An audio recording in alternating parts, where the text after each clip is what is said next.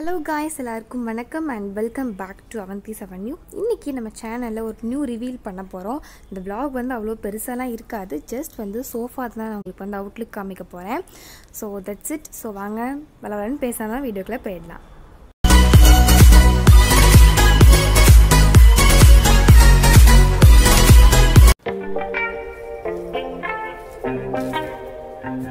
Thank